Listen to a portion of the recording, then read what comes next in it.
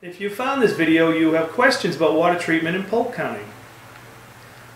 When you're looking at water equipment, a lot of times people will say, well, what's the difference between just an under the water, under the sink drinking water system or a whole house system?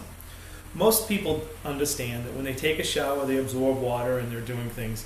With the whole house system, you're taking care of every drop of water that comes into the house. That means that's being fed to your hot water heater, which in turn goes to your shower, to what you brush your teeth with, to your ice in the, water out of your refrigerator. It takes care of all the water in the whole house. In an underwater drinking system is specifically just for drinking and cooking water. It, it's a single small faucet. It's a and it goes right at your sink, and it's a small supply.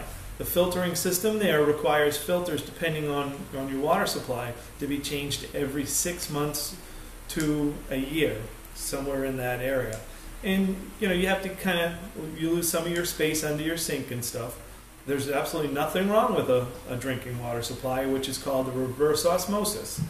But generally, a whole house system is what people go for because of the fact that they're showering and their hair feels better, and when they're shaving and their skin you know, remove the chlorine and all the other things that are in the water. Hi, I'm Steve from Filtration Direct, um, the only recipient of the Angie's List Super Service Award in the state of Florida. We'd like to thank you for visiting us, and if you have any further questions at all, please feel free to look at our website or give us a call.